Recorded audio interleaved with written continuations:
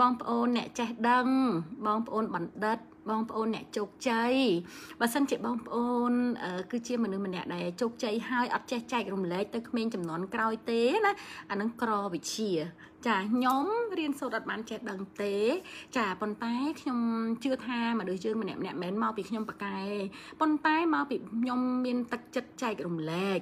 ធំតែប៉ុណ្្នឹងឯងអញ្ចឹងសង្ឃឹមថាបងប្អូនយើងដែលមានចំណុចល្អល្អក្នុងជីវិតរបស់យើងនេះបងប្អូនឡើងមកខេជាងអ្នកកំពុងតែអង្គុយស្ដាប់នឹងណាបងប្អូនខ្ញុំជឿថាបងប្អូនសិតតែមានចំណុចល្អសិតតែមានចំណុចបកែទៅទេដែលយើងទទួលស្គាល់ថា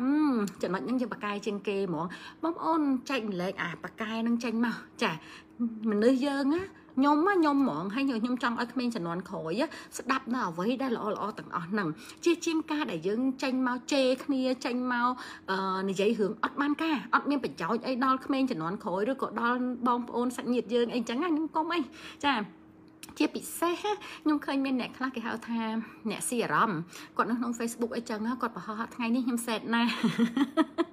ខ្ញុំសួរតិចមើលហើយមានអ្នកខ្លះគាត់ចង់ជេរមនុស្សម្នាក់ឬក៏ជេរពួកម៉ាក់គាត់អីមួយអីអញ្ចឹងណាចាគាត់ជេរនៅក្នុង Facebook គាត់ក៏ភ្លេចថាម្នាក់នឹងអត់បានចូលមើលទេណាប៉ុន្តែ friend គាត់ឡើងរាប់ពាន់អ្នកកំពុងតែអានហើយសួរថាតើមនុស្សដែលធ្លាប់ស្រឡាញ់គាត់មនុស្សនៅហ្នឹងគេមើលមកគាត់ទៅជាយ៉ាងណាត្រូវអត់តែអញ្ចឹងទៅពេលខ្លះហាយើងអត់តន់យើងយើងយើងកុំទៅតារាម៉ានៅ Facebook អីវាអត់ប្រយោជន៍ទេបងប្អូនបើចង់បើចង់បញ្ចេញអារម្មណ៍ចង់ស៊ីអារម្មណ៍ណា ស៊ីអារម្មណ៍មួយប្តីទៅពួកអីប្តីយើងអត់ចេះមើលងាយយើងទេហើយប្តីយើងស្ដាប់យើងទៅហើយក៏អត់ចេះនិយាយដើមយើងទេ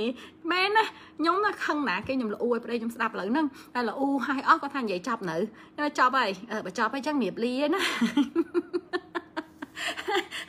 បងប្អូនបងប្អូនជ្រើសរើសរកអ្នកណាម្នាក់ដែលយើងអាចចេះដាក់ហ្មងចាវាល្អជាង ល្អជាងការដែលបញ្ចេញក្នុង Facebook ពីព្រោះអីមួយទល់មួយប្រសើរជាងការដែលយើងចេះដាក់ Facebook យើងចង់ជេរមនុស្សម្នាក់ឯងប៉ុន្តែមនុស្សរាប់ពាន់នាក់នេះគឺដឹងចរិតសិនរបស់យើងអត់ចំណេញទេបងប្អូនអត់ចំណេញអញ្ចឹងហ្មងចា